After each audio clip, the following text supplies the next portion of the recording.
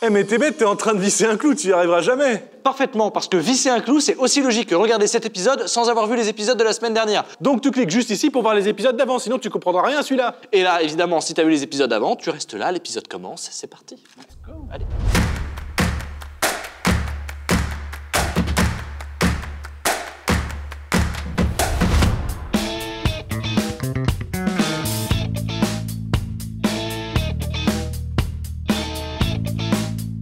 Bon, ça fait 15 minutes et on espère qu'avec le calculateur d'insolation, on n'aura pas besoin d'utiliser un deuxième cadre pour exposer plus longtemps. Alors ce qui est cool, c'est quand même qu'on a une petite douchette sur le lavabo, donc normalement on devrait avoir un peu de pression pour pouvoir vraiment euh, passer à l'eau proprement entre les mailles. On sait pas du tout ce que ça va donner, mais on va tenter ça tout de suite. Ça va être la surprise. Est-ce que le mélange euh, de l'émulsion était bonne Est-ce que l'induction, elle était bonne? Est-ce que le temps d'exposition était suffisamment grand par rapport au calculateur? Tant de variables qui nous mènent à maintenant sans qu'on n'en connaisse aucune.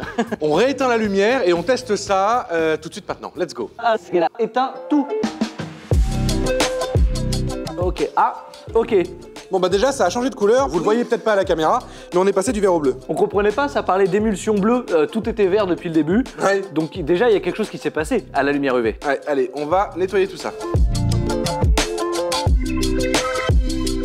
Je mets très peu à la lumière parce qu'il faut aller très vite, mais voilà, vous pouvez voir qu'il y a des zones qui sont plus vertes que d'autres, et ça, normalement, ça veut dire que c'est des zones qui n'ont pas durci.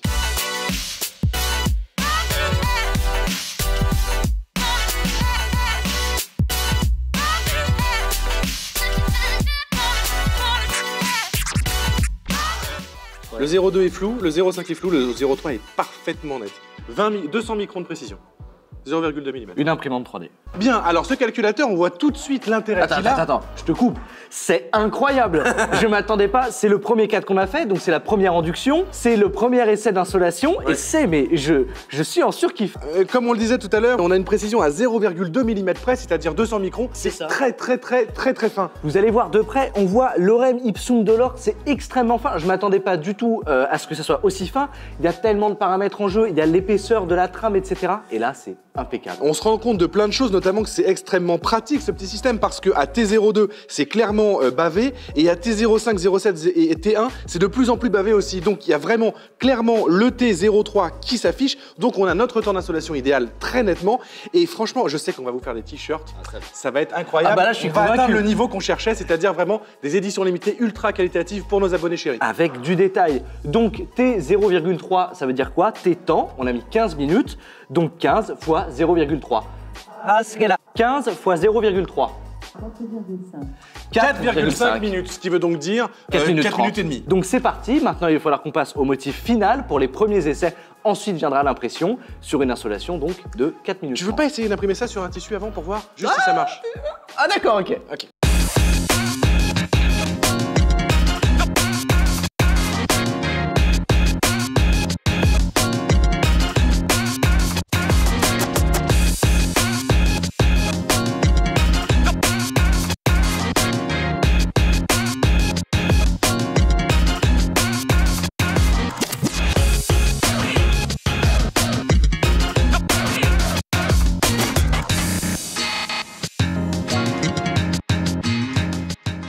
Résultat est vraiment à la hauteur de nos espérances. hein. Ouais, totalement. C'est-à-dire Du premier coup Du premier coup. Avec des encres à l'eau avec des Écologique Waouh Plus écologique que le plastisol Mais ta Je m'attendais pas à ce qu'on ait vraiment, comme tu dis, du premier coup, un rendu aussi fin, aussi efficace, et surtout l'encre s'est vraiment bien imprégnée dans le tissu, donc on a un aspect euh, bah, t-shirt du commerce. Bah voilà, en plus on est là sur des encres à base d'eau, puisque on vous en a pas encore parlé, mais vraiment les t-shirts sont ultra quali. Mais le coton de ces t-shirts là est un coton biologique, c'est vegan compatible, c'est euh, issu du commerce équitable, etc.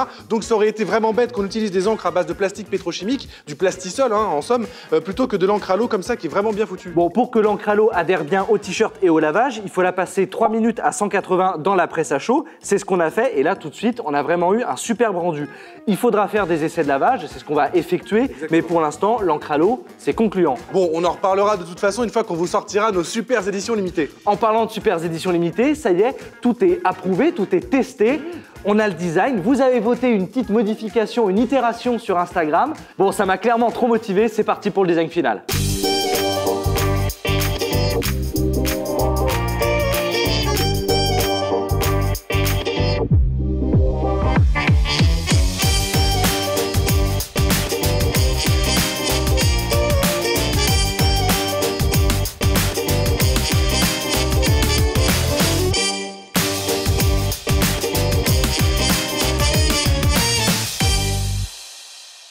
Ok. Ok. Donc là, 4 minutes 30 d'installation. Est-ce qu'on va être bon sur les temps et est-ce qu'on va être bon parce qu'on a rajouté la plaque pour plaquer le typon? Non, ça va pas. Bah, ça doit être bleu, c'est vert. Tout à l'heure, c'était vraiment bleu-bleu. N'oublie pas qu'on l'a pas faite euh, pareil, celle-là. On a, on, a, on a fait dans l'autre sens la maille et tout. Là, je suis un petit peu inquiet, je t'avoue. Moi aussi. Bon, on est face à une petite problématique. Alors pourquoi c'est plus vert sur l'autre? Parce que partout là où c'était vert, c'est parti avec de l'eau. Donc on se dit que hypothétiquement, celui-là peut partir de partout avec de l'eau. Mais en même temps, euh, on a bien relu la documentation du calculateur. C'était le bon temps. On a, fallait bien mettre 4 minutes 30. Donc eh, on- je crois qu'on va prendre le risque de le passer à l'eau et de voir si tout va partir. Ok, ok, on, on essaye, on crabera un cadre, Pierre, c'est pas bien grave, mais on essaye.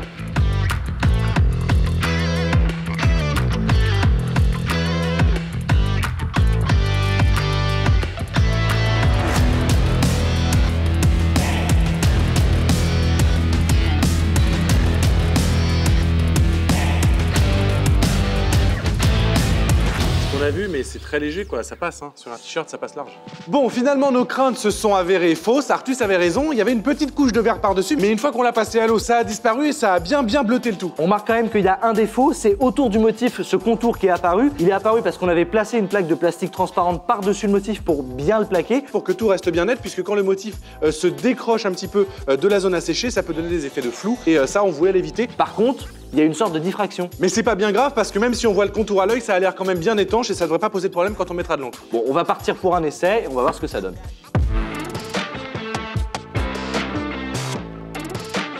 Bon, comme vous pouvez le voir, après installation aux UV et suite à des tests, nous nous sommes rendus compte que le cadre n'était pas à la hauteur de la qualité que nous souhaitions vous proposer pour vos commandes de t-shirts. Oui, on le remarque bien à la caméra là, beaucoup d'éléments sont effacés ou trop peu visibles selon nos critères. Du coup, la solution est très simple, refaire les cadres en musique Et pour ça, il faut que Baptiste dilue une mixture de solvant afin d'enlever facilement l'enduit avec un nettoyeur haute pression. Je vaporise la solution sur l'enduit du cadre, Et je me charge de nettoyer le tout.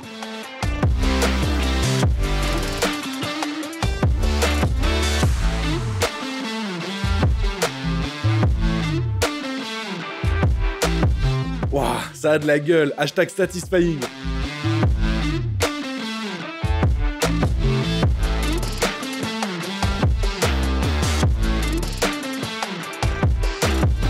Mais comme vous pouvez le voir, ce n'est pas suffisant, donc je décide de revaporiser la maille avec une solution encore plus concentrée. Ah oui d'accord, là c'est pas pareil du tout, là ça marche. Ouais, et ça marche bien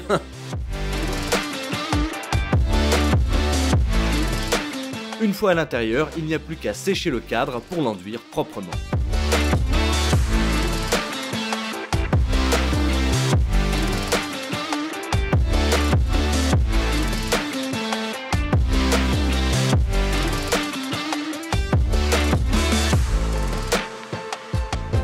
Cette fois-ci, on décide de retirer l'enduit qui n'est pas sec directement avec le jet d'eau.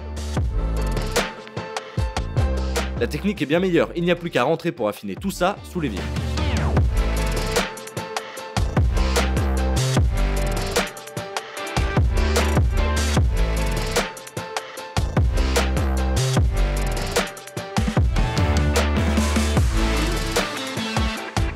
Et pour une dernière fois, on n'a plus qu'à insoler le cadre pour le fixer définitivement.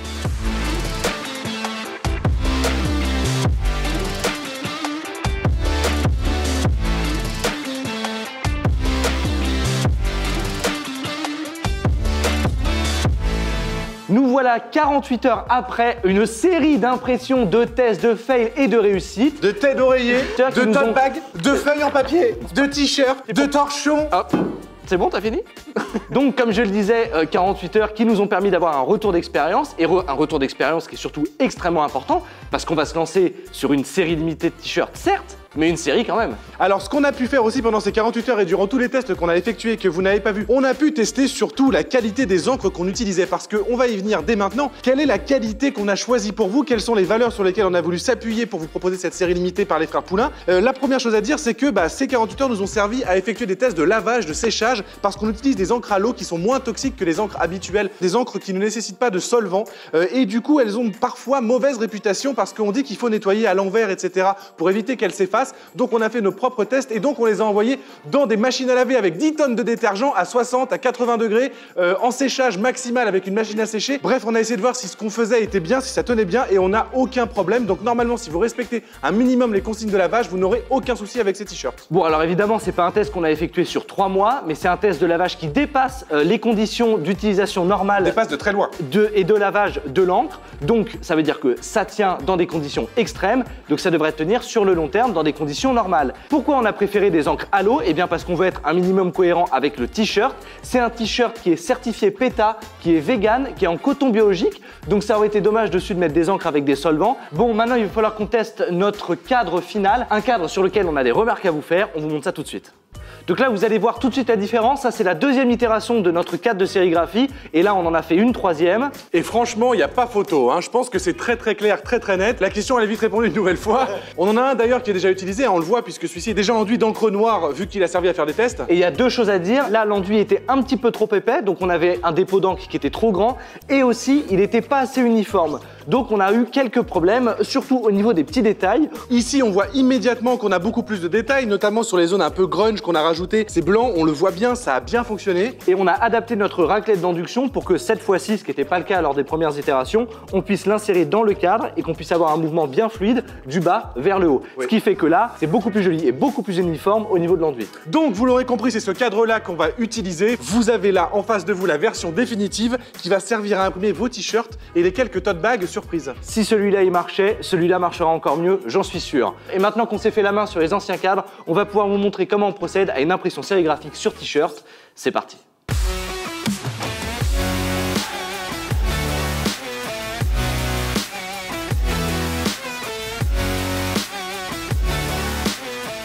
Donc là, comme vous pouvez le voir, on a mis du scotch de peintre pour masquer les zones où on veut pas que l'encre passe.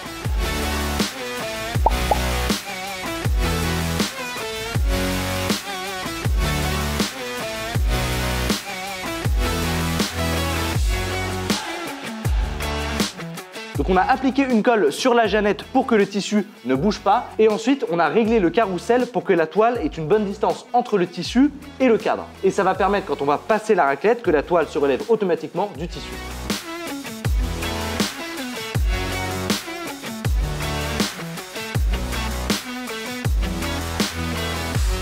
En ce qui concerne les encres à base d'eau dont je vous ai parlé tout à l'heure, on a choisi de les faire nous-mêmes avec des pigments et une base transparente. Et grâce à ça et grâce à ce mélange, on a pu avoir l'encre que vous avez vue et qu'on a déposée juste ici. On a mis un premier film, une première passe de raclette pour déposer l'encre sur la maille et maintenant on va aplatir la maille contre le t-shirt Pressé, et mettre un coup final.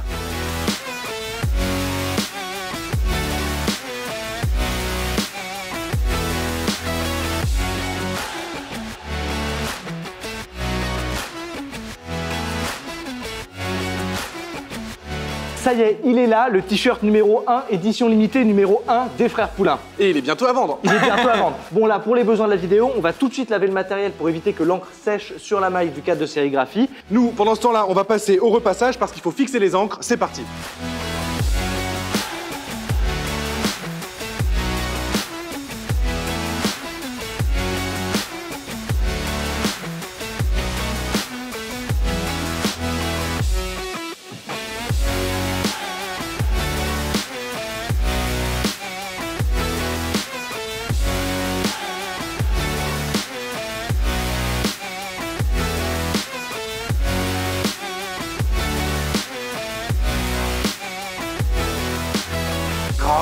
Là là là là là là. C'est magnifique. Ça y est, le t-shirt est resté à 160 degrés pendant 3 minutes sous la presse. Donc l'encre a polymérisé, elle est fixée au coton. Maintenant, ça tient et ça passe au lavage. Ça bouge pas Je peux Ah, faire bon, ça. Bah oui. Il n'y a pas de problème. C'est bon, c'est parti pour euh, 10 ans de lavage euh, retourné. On vous le répète, donc les recommandations de lavage pour le t-shirt, c'est de à froid jusqu'à 40 degrés et à l'envers idéalement. Si vous voulez le garder le plus longtemps possible. Bon, on a un t-shirt. Il est super classe, il est super doux, il nous rend très amoureux. Il est beau, il est incroyablement qualitatif. Mais dans votre boîte aux lettres, vous allez recevoir un colis. Et ce colis, eh ben on n'a pas fait les choses à moitié. Il faut d'abord qu'il soit de niveau manufacturé, c'est-à-dire qu'il nous faut une étiquette, il nous faut quelque chose de quali aussi. Et on a réfléchi, comme d'habitude dans l'idée d'une édition limitée, à vous préparer quelque chose d'assez cool.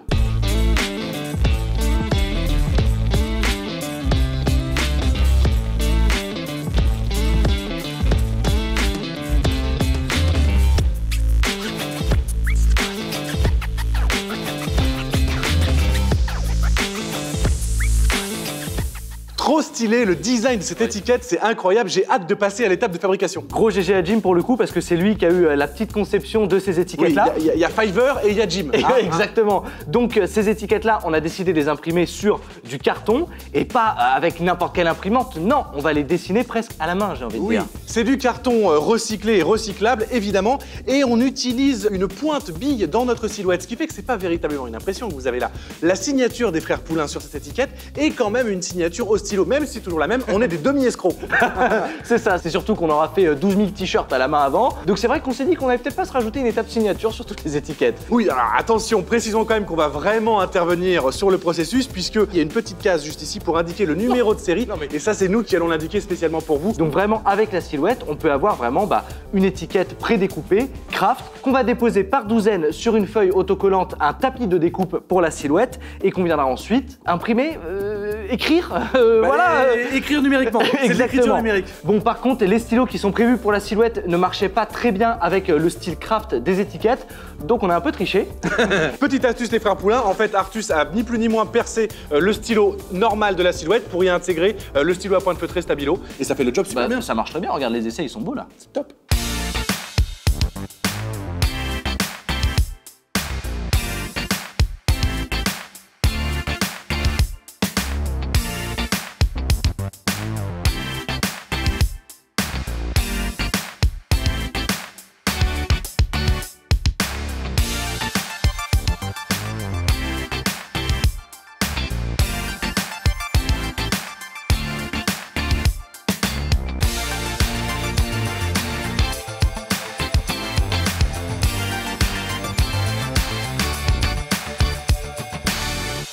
Les étiquettes sont incroyables. Ce qui est génial avec la technique, avec la silhouette, c'est ce qu'on disait tout à l'heure. Oui, même si on est des demi-escrocs parce que c'est un stylo numérique, Oui. c'est quand même un stylo. Et donc l'encre ne se dépose pas de la même façon sur chacune des étiquettes. Donc elles sont quand même toutes Ah, mais uniques. Chaque t-shirt est unique déjà parce qu'il est fait à la main, parce que le motif sera jamais placé de la même façon, et ça sera pareil sur les étiquettes. C'est les défauts qui font le sel de cette création des C'est comme tout, c'est comme la sérigraphie, ça fait que vous avez vraiment un exemplaire unique. Il faut peut-être les attacher ces étiquettes? Alors, je la prends, je la retire comme ça, Oh, parfait. On a notre étiquette. et on, a surtout des magnifiques petits trombones. Je vais vous chercher ça. des trombones.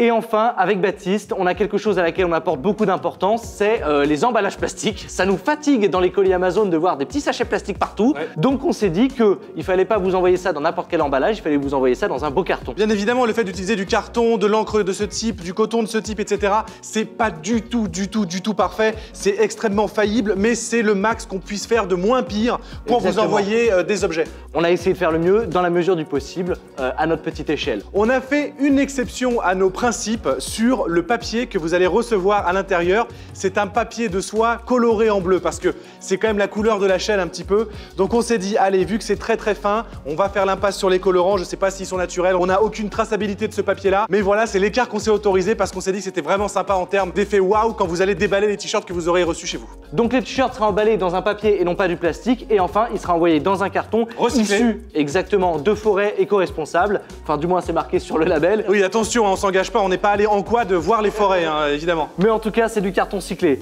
Donc voilà, on a notre t-shirt, notre papier, notre carton. On assemble tout? Ouais.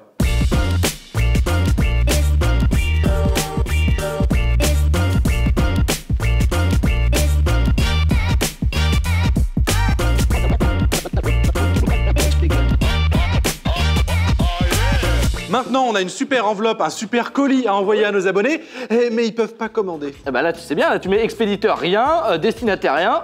Retour bon. chez rien.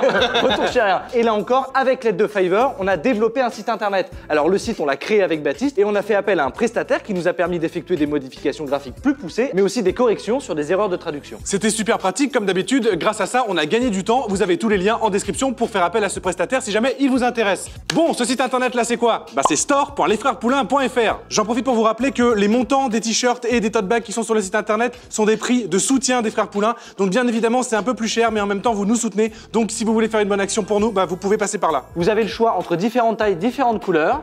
N'hésitez pas à aller voir ça, à exploser le lien qui est disponible dans la description. Euh, on espère que vous serez au rendez-vous. Les délais d'envoi seront euh, variables. On ne sait pas si on va avoir le temps, mais en tout cas, ça devrait aller hein, à peu près euh, d'ici une ou deux semaines. Bon. Maintenant, parlons sérieusement. Il faut qu'on vous parle d'une dernière chose hyper importante. Une chose vraiment ultime, on a fait une édition ultra limitée, le numéro 1 sur 1. Il n'y en aura pas d'autre, il n'y en a qu'un seul, c'est le hoodie, le sweatshirt à capuche rouge fluo, les frères Poulain.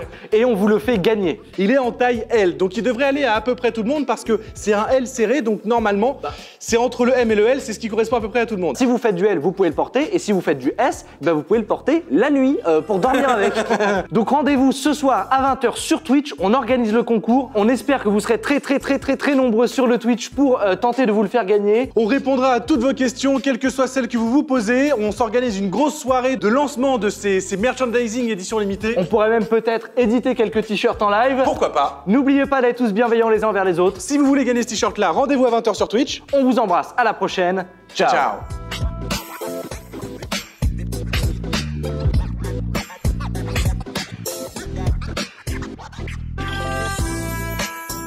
Juste après deux stories, l'une avec la version ultra modifiée. Non, Non. Donc ça fait. j'ai dit non.